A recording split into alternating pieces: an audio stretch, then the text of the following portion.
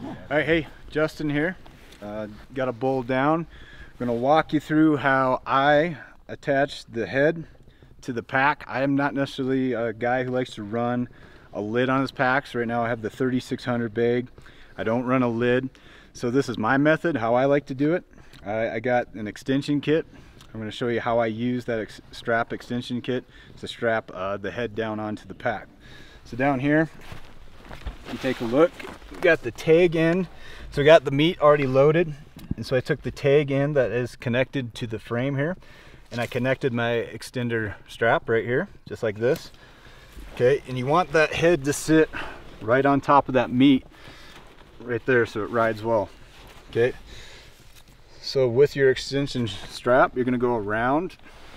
I like to go between the G1 and the G2. Okay, just like this.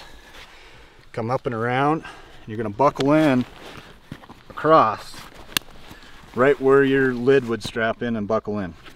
Okay, so I'm gonna go here, around, okay, and across, and buckle in, just like that. And that actually rides pretty solid. That's how I run my head without a lid.